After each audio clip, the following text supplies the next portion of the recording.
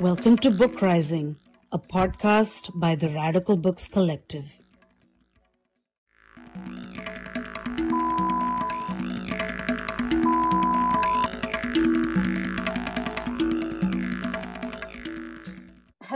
Everyone, and welcome to our podcast, The BookRising. I'm so excited to welcome Jennifer Makumbi to the studio today and she will be an incredible addition to our ongoing Trailblazing African Feminist compilation. Jennifer Makumbi is a Ugandan writer and has published two critically acclaimed novels, Kintu in 2014 and A Girl is a Body of Water in 2020. She is also the author of a collection of stories titled Manchester Happened and the recipient of prestigious fellowships and awards such as the Kwani Manuscript Prize, the Windham Campbell Prize, and only recently the Jhalak Prize. Congratulations, Jennifer, and welcome. Thank you so much for joining me today. Thank you for having me back, T. Uh, I'm so glad to be with you today.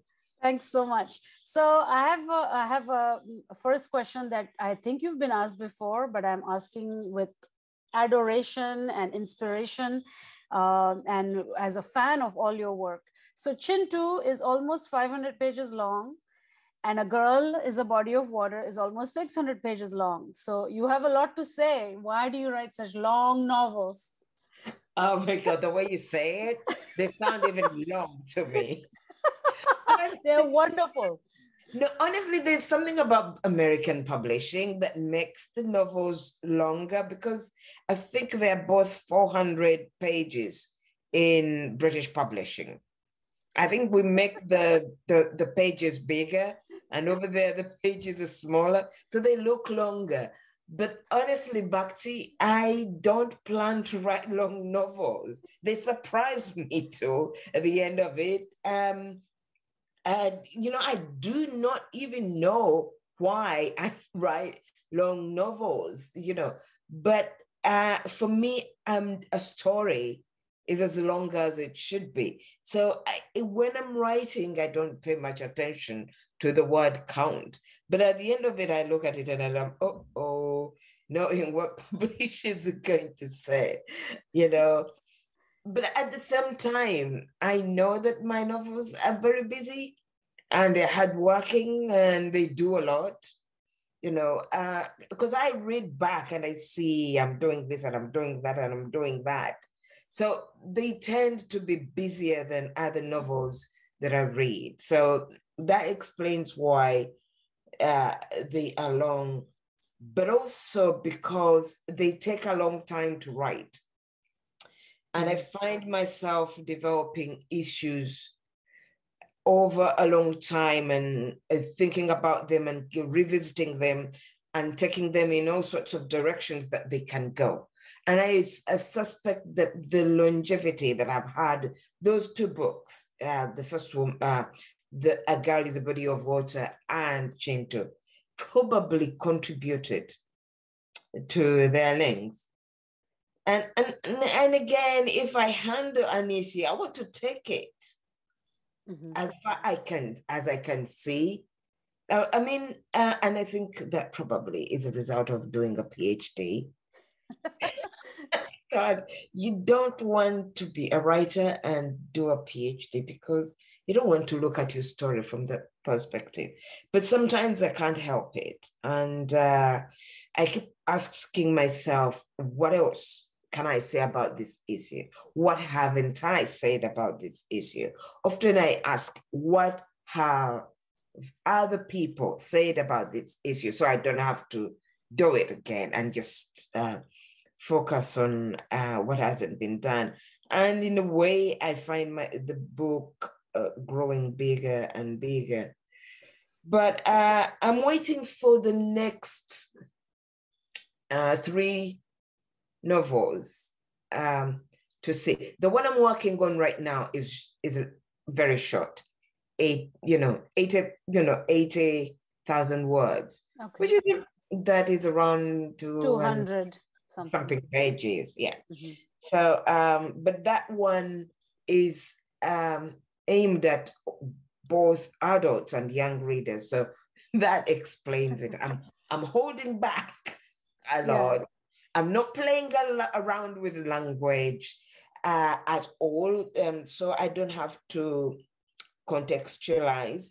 Mm-hmm. I have not included Luganda words except where I can help it. And uh, I am not thinking about the critical aspects of what I'm writing or what um, theoretical paradigms would inform what I'm writing about. So that has made it probably shorter, and I'm so glad. Mm-hmm. not not to not to take you off track, but uh, I have an 11 year old son who incessantly reads, you know, these epic young adult novels. I mean, even someone like Rowling is at some point, J.K. Rowling was writing 900 page novels. I. I know. That's why I'm, I'm thinking I'm okay here because yeah, young readers were reading them. Yes, absolutely. And I love the term busy uh, because there is so much happening in your novels.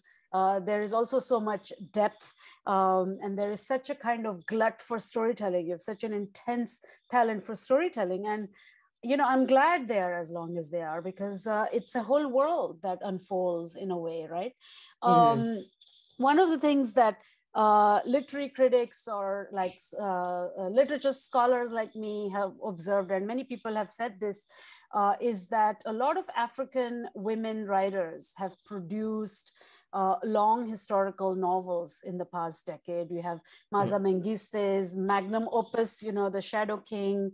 Uh, yes, yes. Yvonne Owuor, you know, she is, uh, she is, she's, she's, you know, dense, long, intense, lots of pages, wonderful work. Yeah, yeah. Uh, Namwali Serpell has the big Zambian epic. Uh, so, you know, what do you think is going on? Is there some kind of uh, reckoning with the past or an embrace of the form that's taking place? Well, I can only guess what other, um, what uh, Ma- Maaza, Yvonne, and Namwali are doing. And, and, and to a certain extent, Yvonne Vera was also reckoning with the past, but hers were very tiny books. She's the uh, the different one. But um, but for me, having grown up on African literature, and I've for goodness sakes, I studied African literature intensively when I was in Uganda. And I was aware that between the 1950s and 60s, perhaps early 70s, there were hardly any women writers that were being published. The few that were, we hardly read them. And the history that was being written then was masculine. Okay. On top of that, oral histories, at least in Buganda, tended to be incredibly masculinist. And they were all about um, masculine action and how they built the kingdoms and how they shaped the, the, the culture, uh, the, the economy, and all of that. And so feminine action was often missing. And that which existed was always distorted. So it only managed to get into visibility because it was horrendous, wow. you know, uh, often.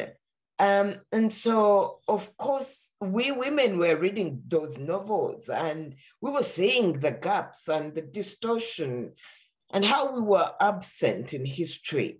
So it's not surprising that the minute we've picked up the pen to write, we are going back into history to fill in those gaps.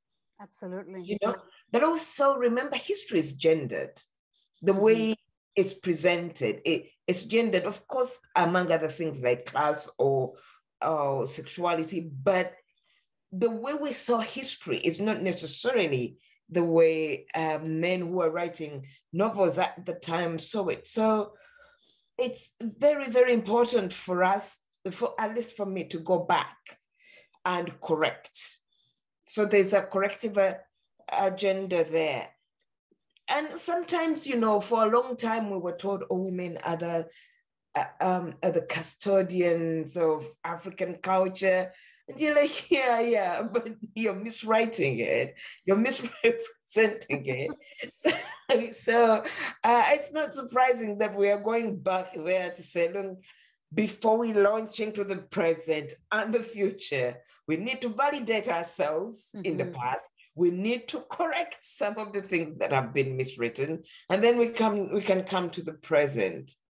Mm-hmm.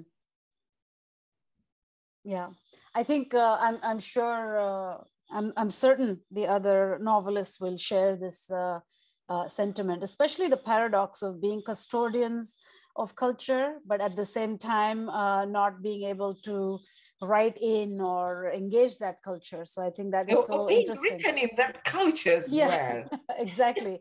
being representative or constitutive of that culture. Yeah, absolutely. Yeah. I agree. Uh, and if you look at all those novels, The Old Drift by Namwali Serpell, mm-hmm. um, um, um, if you look at Ma, uh, Maaza Mengiste's The Shadow um, King. The Shadow King. And uh, to a certain extent, both um, Yv- Yvonne Owuor's book mm-hmm. and Yvonne Vera's um, Stone Virgins. No, no, it's the other one with a tight na- character title. Uh, um, butterfly. Um, anyway. The the the um the woman who was the um, the beginning of the uh, Zimbabwean revolution. I see. It, it, it, it's all, if you look at those novels, they are excavating. Mm-hmm. They are excavating history. Mm-hmm. Uh, uh, and, and you can see that they are looking for these women who are part of struggles and have been absent, and they are bringing them into visibility. It's not just mine. Uh, it's it's every woman's historical novel you look at. They are saying, "Hang on a minute." We did take part in shaping our cultures, in shaping our societies, and we were part of the political struggles as well. Nehanda. Um, Nehanda. That's yeah. it. That's okay. it so you, you and and I think Nehanda was the first novel that I read where a woman writer was like, hang on a minute. Mm-hmm. She's been miswritten, she's been misunderstood. They've taken her femininity out of her, and she's just a political figure rather than a woman as well. Mm-hmm. And she is rewriting her. And I was like, yeah, this makes perfect sense. So when I came across uh, in Kintu, when I came across um, female figures in history that have been miswritten or totally buried, I, I, I exhumed them. I was like, hang on a minute. And it was surprising that later, some of the women that I'd written about started to pop up in, now in history, you know, having done much more than I had mm-hmm. written. And I was like, hang on a minute where have you been? Right. yeah, absolutely. Um, well, you know, you're you're talking a little bit about these inspirations and um, some of the things that make you do the kind of work that you do. So I just wanted to ask you a bit about the origins of your um, writing journey. You know, it seems like you produced two epic novels and the story collection very quickly. Uh, it's less than a decade, one would say. So, mm-hmm. but these works are something you've been trying to publish for a while, right? And it's the timing that clicked suddenly. Could you tell us a bit more? Yeah. So, in the past 20 years, I've written three books. So, um, if you look at 23 books, that would mean probably each book took me six years to write. Mm. But to be quite frank with you, my first novel is A Girl is a Body of Water. Mm-hmm. I created those characters back in in 1998, Kirabo and her grandparents and Linsota, and her father and her mother.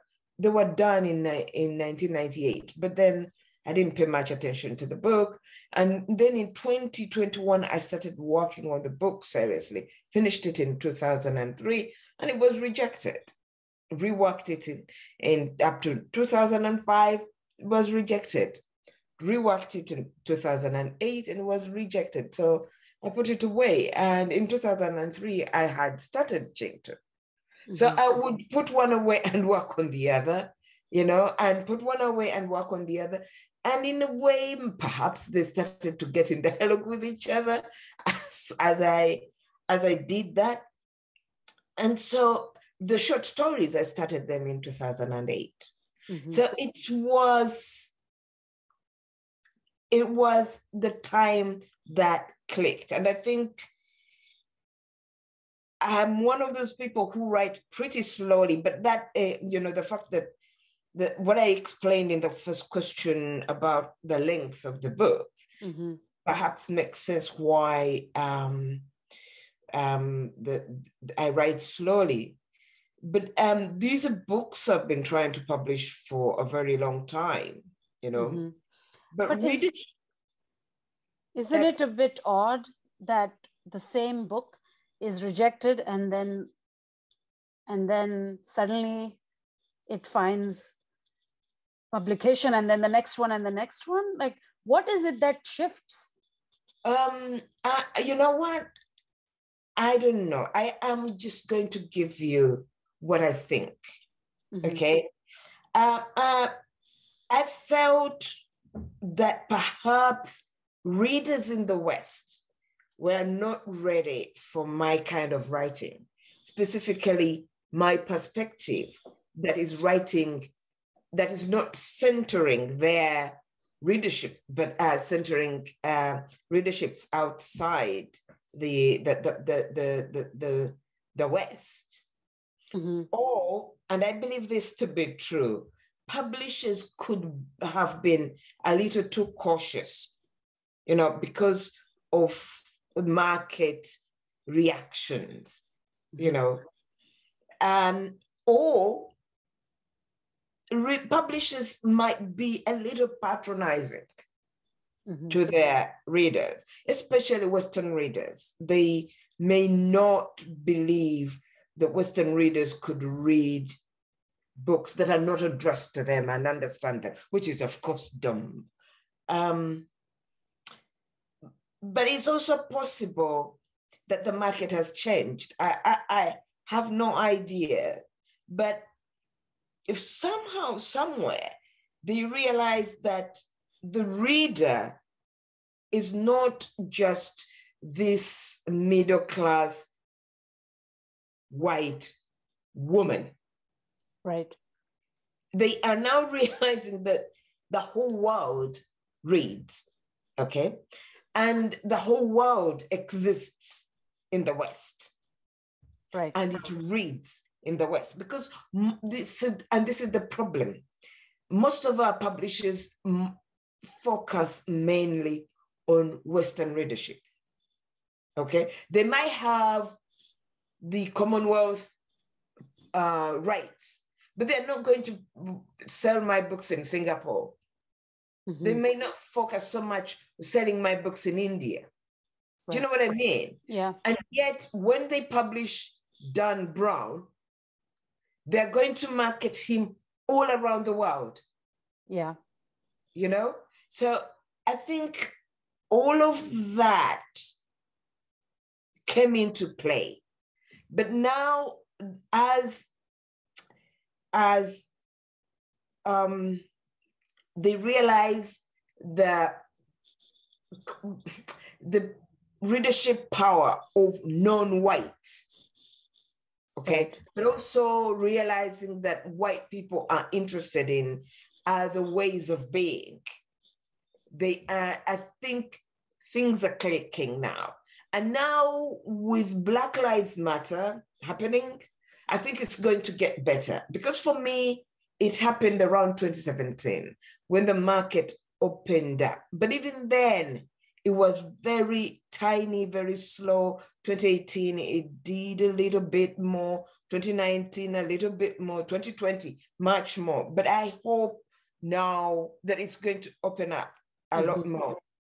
Um, and and I think now that we are working with the publishers, so for example, my publisher is aware that when my books come out, I want them to be sent to Uganda and to East Africa mm-hmm. quickly, and that I want to launch my book there. But I think it's, I'm now starting to think wider than that. And I'm trying to think that I should market myself in the Caribbean as well. Yeah, absolutely. Yeah, and, and I should market myself to as well to African America, South African America, you know, but I, I, those I am going to claim as my market. My publisher can work on the others. I am think that's the way I'm thinking now. That if I, I if I centered Uganda, Africa, and they've responded, you know, I can therefore reach out to wider African world. Mm-hmm. Yeah. And I would add India to the mix. All it needs is to get on one exam list for the masters uh, students in India, and then people read read like mad. You know, the amount of graduate students applying right now to programs uh, at the university where I am, and they're from India, and they often want to write theses on African writers. You know, so. I, I I do believe you. One time I was lucky to be taken to Jaipur. Oh, okay. oh my day. I mean, I saw this festival and I said to myself, there's still a market. Mm-hmm. Because mm-hmm. the number of people at this festival, because it was free, okay, was free of charge. Bhakti we had a whole palace to authors. Now, let me tell you, the authors in the palace were as numerous as everybody you find on any day at Edinburgh Festival. Mm-hmm. Those were just the authors, okay? Wow. Mm-hmm. And if you were going out to have an event, you had somebody in front of you with a whistle and somebody behind you with a whistle because there was no space to pass. This is, and they were all young people. Right. And so they blow the whistle and say, author coming through us. I loved it. Shameless. Author coming through, it's like sirens. Oh, I love it. You know, and they would set up a tent. I mean, at one point, it was us three authors from Africa, not known around India. I was with NoViolet Bulawayo mm-hmm. and um, Zukiswa Wanner. Yeah. Um, and we were, somebody put up a tent and said, this is us. And we kept on saying, oh my God, it's going to be empty. it was full. Wow. and we thought, okay, if these people have given us their time without knowing us, let's entertain them. Because across the, the, the path was Ben Okri's. Mm-hmm. And Ben Okri is big in India. So uh, we knew everybody was going to go there. So we were like, let's steal Ben's people. but uh, that is how big India is. And yeah. one last story I, would like to share with you about mm-hmm. uh, Jaipur. So we were, the three of us were seated uh, signing books when three little girls came, which one of them with our one of our book and they said can you sign all three books the three of you because we haven't decided who is taking which book. We've bought all three. We are going to read all three because we don't have the money. I was like mm, this is there this is where i want to be. Yeah. Um, yeah yeah. Reading culture in india is is amazing. And you know we have a lot of uh, people to populate events. You know oh my days. Oh my yeah, days it was yeah. the best festival that's fun. that's super fun. Um, a very quick question. I was i asked this to uh, some other authors as well. Hmm. um, mm. when we're talking about the timing of publishing and uh, western audiences being ready for non-white writers and voices. Um, did it feel that the does it seem that the uk is different uh, from the us in this case because it does seem that the uk just because of its colonial relations or proximity tends to publish uh, you know certain african writers that actually don't come as much to the us like abdul mm. razak gurnah or leila aboulela who are very well known in the UK, but not as much in the US. And in the US, we have a different non white category, which is we have a lot of uh, African American writers that populate the diversity category at some level, right? So, do you feel that it's different? I mean, even in the UK, you felt there was pushback to your work? Um, it, uh, the, there was, it, it's very hard to tell that because of, you found I came across many readers in the UK who were like, who said we wouldn't be able to read these books? You know, that is patronizing to us. Mm-hmm. You know. Um, but sometimes you would say, oh, you know, if you're not going to write in the language that I understand, why should I read you? And uh, that sort of thing. But America, America is a very closed mm-hmm. society. You know, everybody that comes to America conforms and becomes American. In Britain, we come and we say, no, no, no, no, no, we are not. You know, we're going to be who we are. You know, mm-hmm. and that makes the readers here interested in who we are. So books like uh, Brick Lane, when they came out, were interesting to the British because they thought, oh, they are British Asians, they're just like us. Mm-hmm. And then they find out, no, actually, there's an Asian Britain, you know. So. Mm, but uh, uh, America is willing to pay attention to African Americans, but for goodness sakes, what? African African? Oh, for crying out! What is that? And yeah. and and I remember I was shortlisted for an award, and they asked me, Can you tell us how your book has been speaking to the major issues that have been going on? And I knew they were looking for uh, Black Lives Matter, and it's, and I was like, mm, now there is another world outside America, you know? indeed, there is.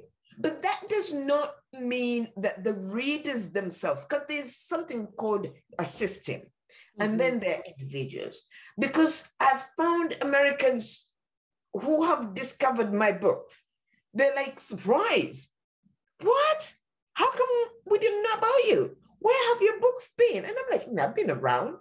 But the system that promotes particular authors, the system that uh, pushes an author into big readership, you know, uh, we might will not put, pick, pick on a book that is not talking about Americans. So if you look at, for example, Chimamanda's writing, the book that uh, launched her was Americanah. Mm-hmm.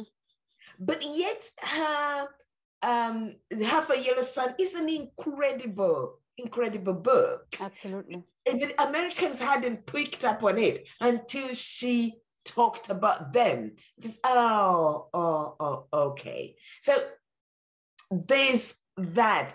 Or if you live in America, that's the other thing. You know, mm-hmm. then they can pay attention to you. But if you're not going to write about Americans, you're not you're not living in the US. For goodness sakes, there's enough read writing here. Mm, Right. Yeah, they need to see themselves mirrored. This is unfortunately very true in film and in uh, and in uh, books. Um, I'm I'm remembering uh, some months ago when you came for a Radical Books Collective book club, and mm-hmm. we had all been discussing "Girl is a Body of Water," and everybody, um, you know, everybody was thinking a lot about actually the three main characters in the book, the three generations yeah, yeah. Um, and it seemed like the middle generation, the mother, the, uh, the missing mother, uh, was not a significant portion of the book. Her perspective wasn't in there. And uh, you then told us, oh, that's because it got cut. And you seemed not particularly phased by it. We were all very shocked. Is this part and parcel of publishing about a world that may be unfamiliar to Western editors? Yes, uh, absolutely. So actually, that book was cut at agent level. Wow. So I sent the book to my agent in London. He read it and he wrote back and said, Jennifer, this is too big. Mm-hmm. The publishers getting get and um, worried about big books that are too big. So, but you have to realize that the process of publishing is a tug of war between author and publisher. Mm-hmm. Okay. Most publishers are a business, you know, business enterprise. They are looking for profit in order to survive in the market. But the author often does not care so much about making money as to getting their message out there. So the two sometimes don't align, you know. And the publisher has this formula of how books make money. And often they try to get all books and fit into that formula. Whereas authors, we hate being placed in boxes. We like to think of ourselves as unique, you know. Sure. So it all depends on your success as an author. Mm-hmm. J.K. Rowling will get away with murder. you know, I was at an event where Salman Rushdie imitated the writing style because he said the 900 pages is just too much. And he says, I can think of like hundreds of pages that could be cut because it repeats. It was very very funny and somewhat somewhat mean but very funny. And it's true. Like nobody stops her you know? And it's the same with dan brown. Right. No absolutely.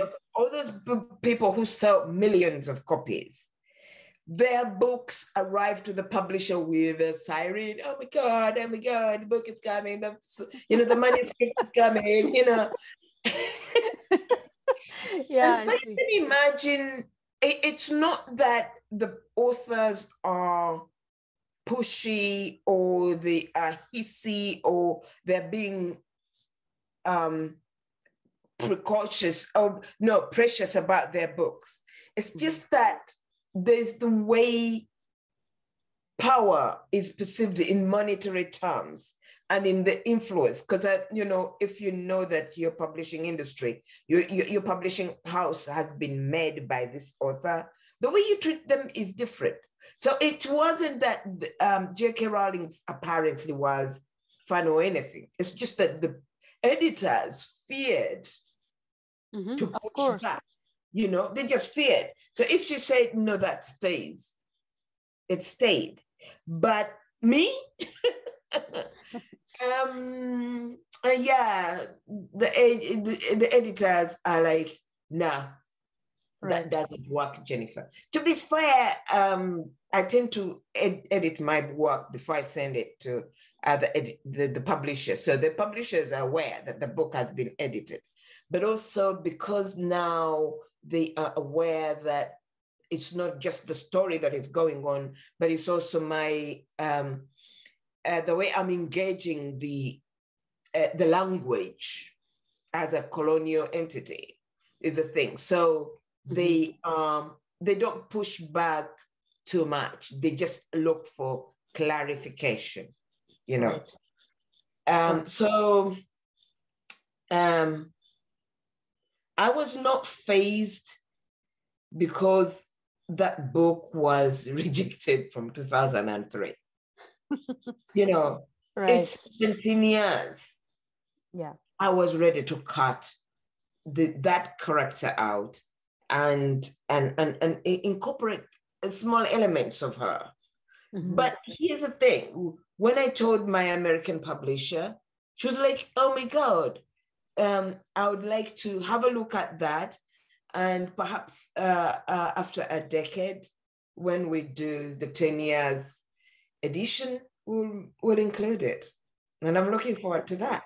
Wow, okay, that's interesting. I mean, I, you know, one can literary critics can argue for and against anything, and one can say it's very strong without, and 10 years later i'm happy to read and find it stronger with so that's exciting actually yeah i think um they would have paid more attention to her as you said mm-hmm. you know that she she's absent in the in uh, yeah she's invisible.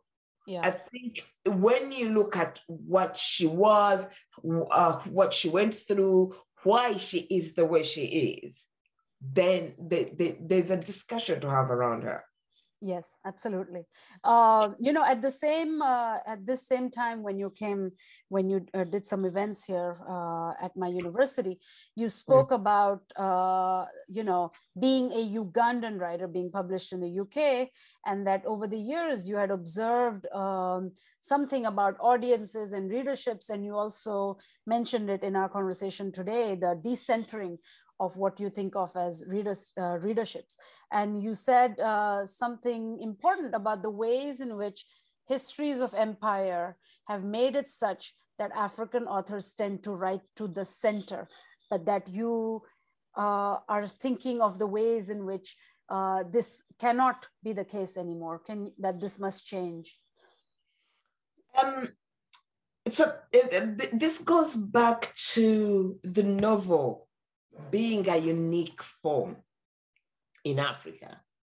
Because in, in the form that it is now, and I always uh, acknowledge that there have been found manuscripts that would constitute of novels in Africa, especially in Ethiopia. But the novel as it is now um, traveled from Europe mm-hmm. with the colonizers Okay. Now, drama and poetry, those existed in Africa, you know, as forms. And um, there were theaters and there were performers of, of plays and there were um, performers of poetry. So colonization did not have a major influence on those forms. But when it came to the novel, uh, because of its nature and the processes of production and the language that we languages that we write in which are colonial languages it meant that the west had such strong power and influence over the novel. First of all they looked at the, the african novel as emergent. Mm-hmm. and therefore it was he was treated as a child, you know, who has no alternative but to grow. So you still hear terms, patronizing terms like, oh, the African novel has made leaps and bounds. And you're like, where is it going? And how do you know? Who are you to tell us that it's grown or it hasn't grown? So uh, because of the production processes. Africans were just producing the novel, the writing, the way we produced cotton and coffee. I've never thought of it wow. that. I'm, I'm yeah. still thinking, oh, wow, okay. Mm-hmm. And so we handed over this raw material to the British. Mm-hmm. And they edited, they processed it, you know, they edited it. And then they um, and that editing process is like threefold mm-hmm. and then they published it and then they reviewed it and they marketed it mm-hmm. and they studied it so all those processes oh my god yeah it's like cotton and coffee isn't it that that is some serious shade to the Heinemann uh, writer series right there. Oh, um, by the way, I'm collecting Heinemann writers series. I want to collect all of them. So mm-hmm. you know, but because that's history as well. Yes, but it is it is a factory. It's a fact. There is a factory element to it. Absolutely, you know. so um, because of that, that power, um, the West made sure that we were writing to them. And it didn't help matters because I, that in the beginning, writers were writing to the empire about colonization. Mm-hmm. You know, um, and also there were no in the beginning there were no there was no readership in English in Africa. So basically, they were writing to the empire, and the empire had the market. And so the empire told them this is how a book should be. This is what a novel should be. Oh, that's not a good one. That won't be published. Oh, that is, oh God, they're, they're, it's terrible. These are the good ones. And, and therefore you can see the books that made it through, you know, which the empire said were the good ones. But if you look at the rest of Heinemann, the books, the, a lot of them fell on the wayside. So um, because of that, a, a kind of trend started that we were writing to the empire, but then it became a habit and it became the way we write because mm-hmm. for a long time we did not reach back the power in terms of publishing ourselves, in terms of growing markets, so that the market could say ABCD, this is what we're looking for, this is what we want. So um, the West has kept this much power. And it's until you're part of the West and you start to read the way the West is writing itself. And the, you look at the way Africa is writing itself, and you realize the West is writing to its primary market. Mm-hmm. And you realize Africa is writing to its secondary readership which is the West. Um, and the West, when you don't, the West demands. Oh my God, how dare! If there's no this, there's no that. What, what do you mean? We. And you realize that the we excludes your mm-hmm. people, you know. So right. th- this is why I think it should change. Yeah. And you are an example in a way of that change because Kintu uh, was was brought to the West uh, because of the power and magic of African publishing. And this is a story we've heard that it's those review circuits, you know, all the, the prize you won in Kenya, all of those are the ones that really uplifted and amplified Kintu in a way. And then it was sort of everywhere. This is true, right? Mm-hmm. Yeah. Yeah, absolutely. So Kintu was completed in 2012. Mm-hmm. And towards the end of 2013, it won the Kwani Manuscript Project Prize. And part of the prize was to publish it. Mm-hmm. So in 2014, it came out around June. And the people who first read it were Kenyans and Ugandans because that those are the only two places it was uh, launched. And I swear to you, it was a few bloggers, but mostly word of mouth that that book started to make its way around Africa. And once it traveled to West Africa, because this is now where we have the biggest market um, um, uh, in Nigeria, and people started to pick up on it. And and of course then it started to people started talking about it on social media you know but it was mostly africans there who were talking about it the west started especially um, um, um, scholars and english departments in the west mm-hmm. who were the first people to start writing to me and saying we've heard of this how do we get hold of it?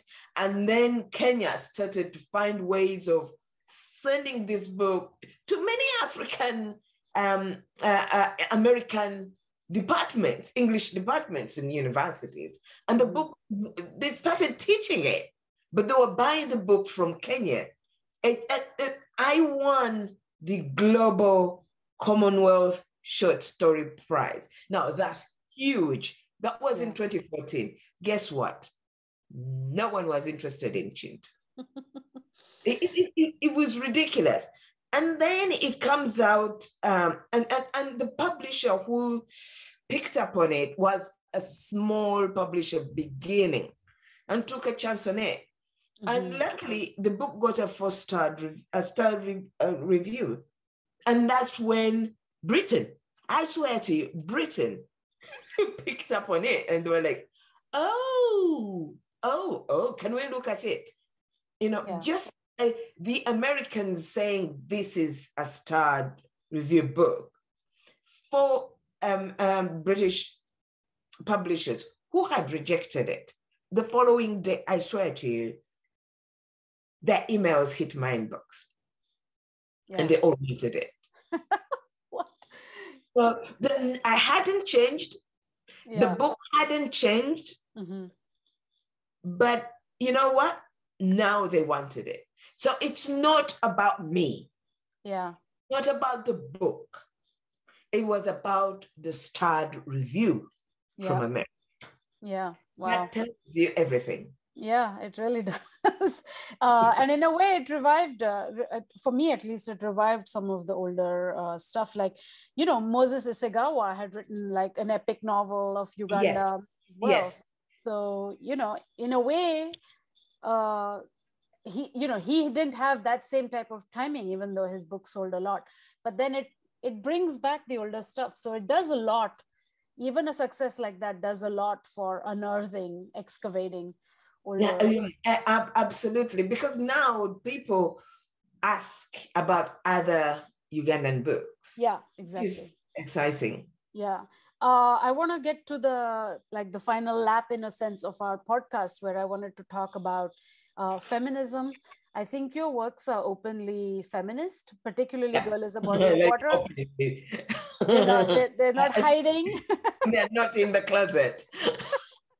and uh, and uh, you know, and also I think Kintu as well, the character of Subi. You know, I've presented papers on the character of Subi as being sort of like a, a central uh, figure in Kintu. Um, but in Girl is a Body of Water is an explicitly you're thinking through the idea of feminism. Uh, yes. Its importance, but also its limits, how it applies within the Ugandan context, how it changes and mutates.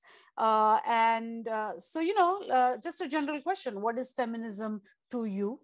Is there a particular Ugandan or an African feminism that you particularly find appealing or that works for you as, you know, a life anthem? Um, for me, feminism is about leveling the field. Mm-hmm.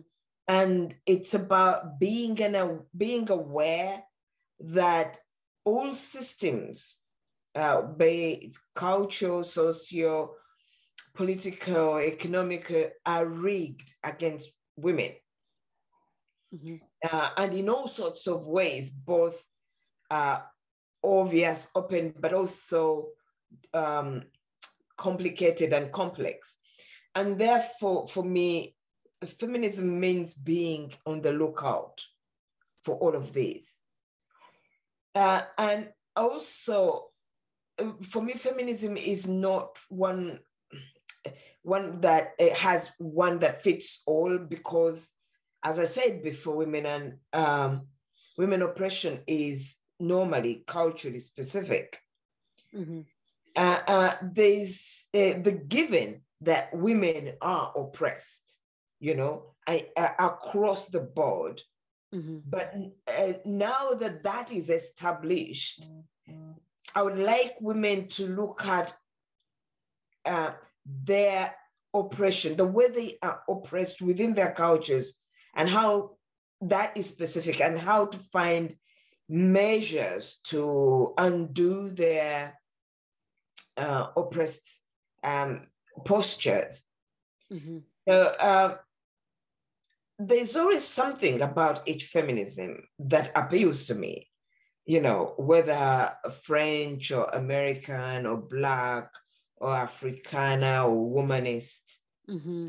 And I think the idea of African feminism is a little too broad. Yeah.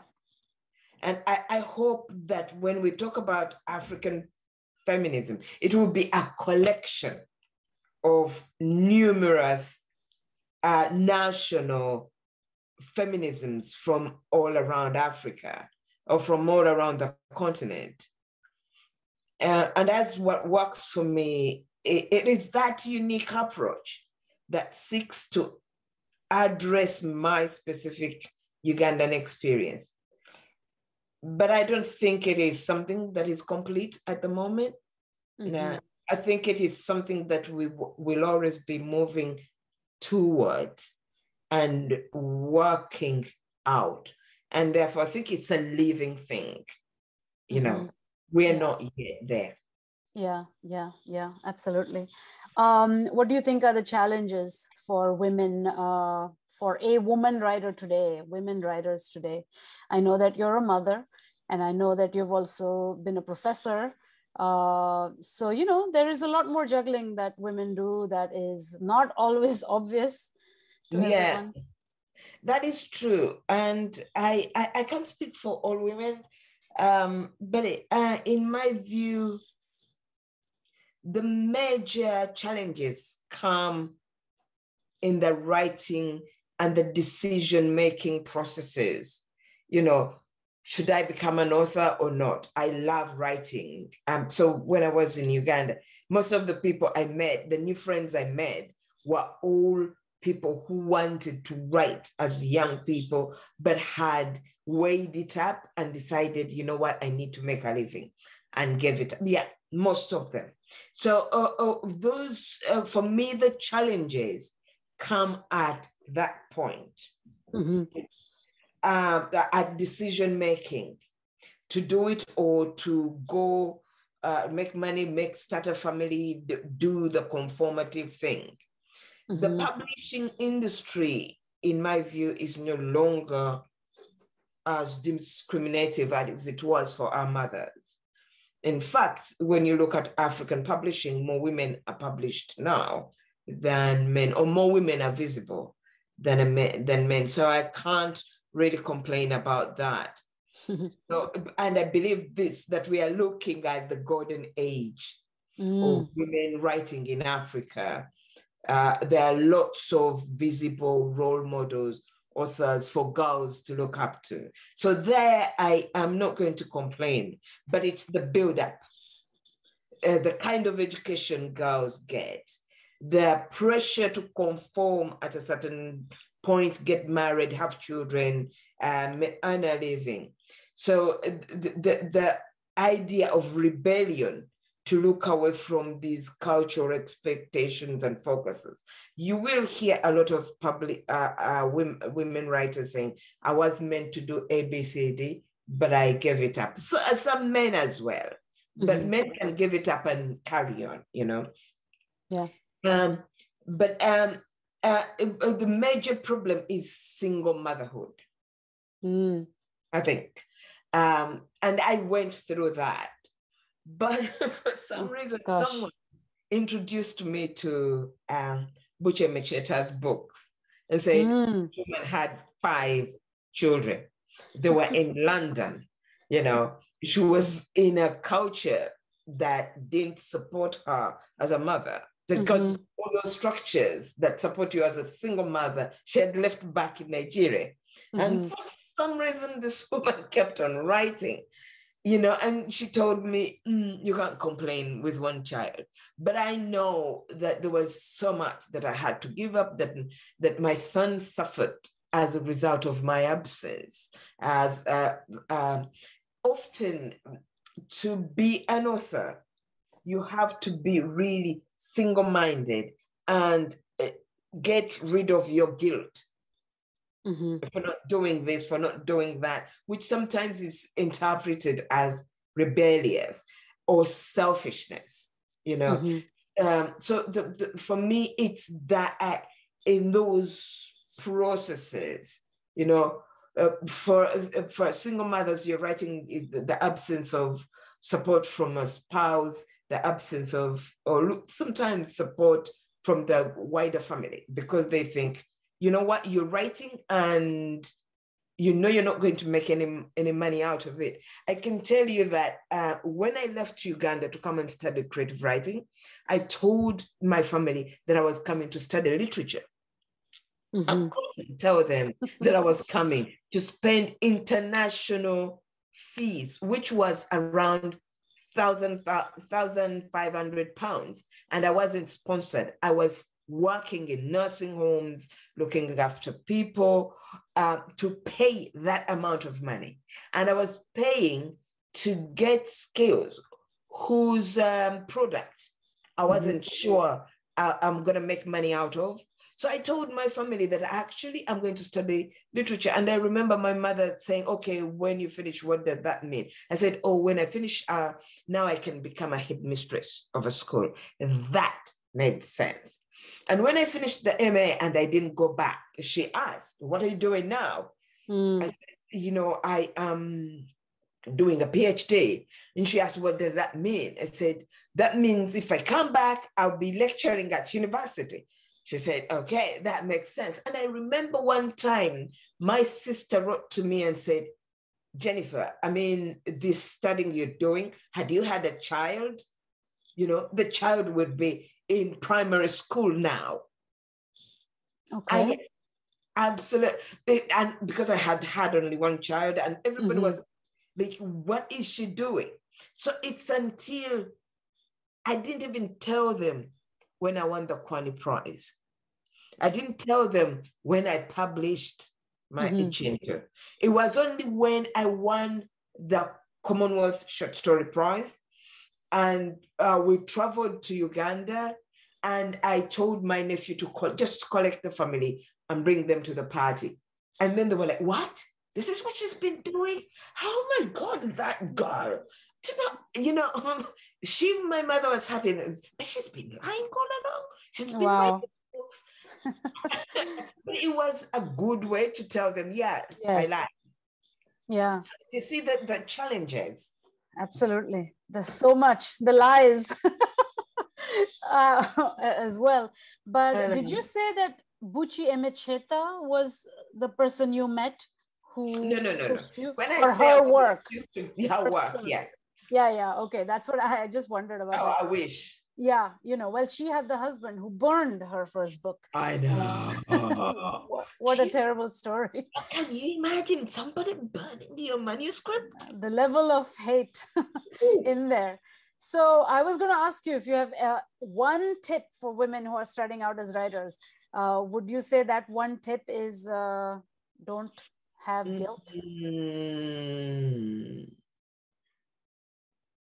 um, you just one. I mean, there's the usual read a lot, mm-hmm. but I'll add that reading a lot is not just reading novels, just reading and reading and reading.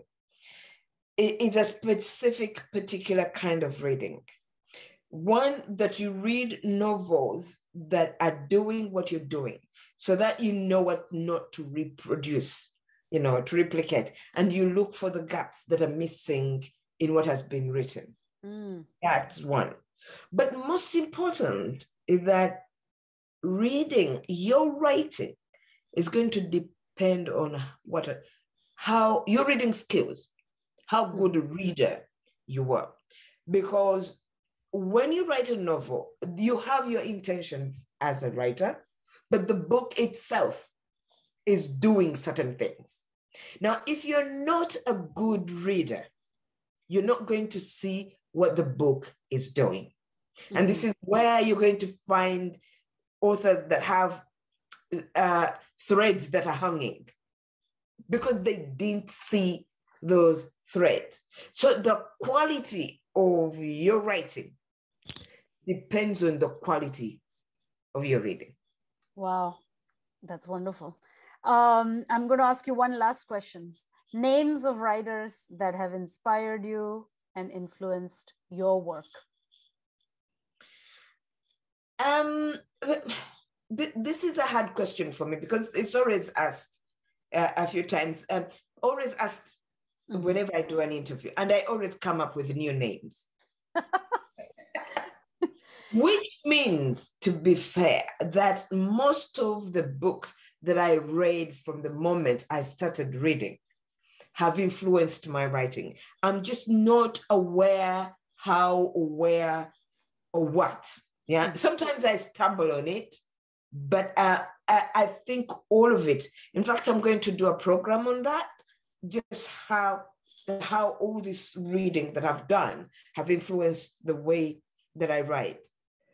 But one of the readers that I have on my table when I'm writing is Toni Morrison. And this is not necessarily to read and understand her books again, because I've done that a thousand times. but this is to remind me not to take language for granted. That uh, because when I was young, it's only the poets that paid a lot of attention to language.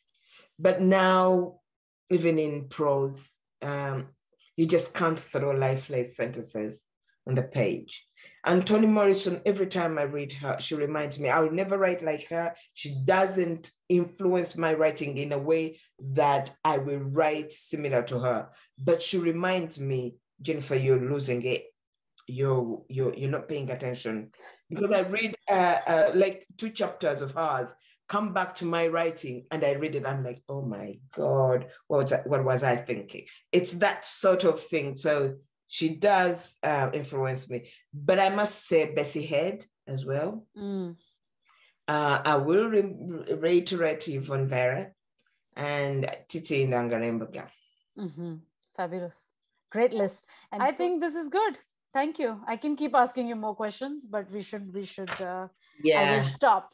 Um, thank you so much for doing this, and uh, I look forward to many more questions and many more sessions and interviews with you. And I will also list, keep out, keep a lookout for the one on all your reading, the, the piece on all the reading. Thank you, Jennifer. Yes, yes thank you.